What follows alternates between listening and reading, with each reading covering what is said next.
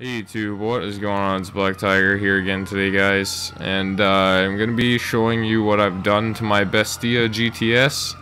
I know I've already done a review on this car but I just wanted to show you guys my finished product here. I think it looks pretty awesome. I like didn't really like the car, well it looked alright, the stock version of it, but now I just absolutely love it. This thing looks like unbelievable. Looks like a completely tuned Ferrari. FF, which is what I believe this car is. Or there's a new one that's out actually that looks a lot like the FF also. I forget what it's called. The F12 or something, I think. I don't know.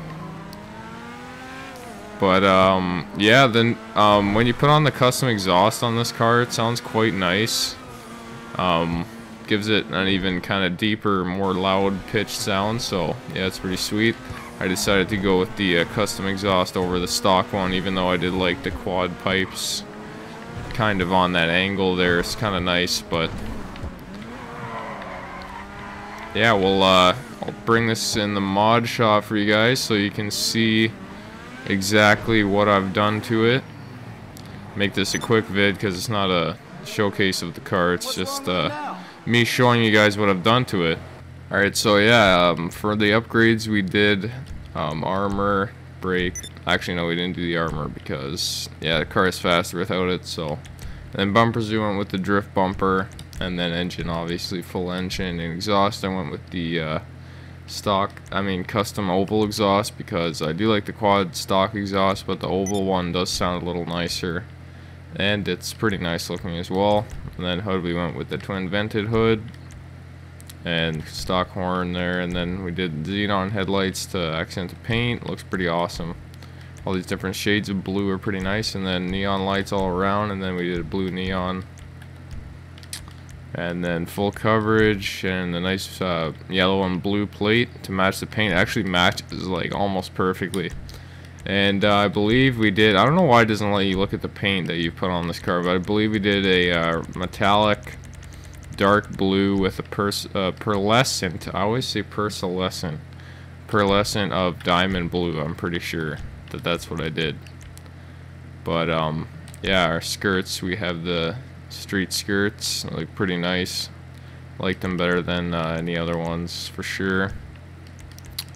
Um, I actually got this idea for this car from uh, someone online.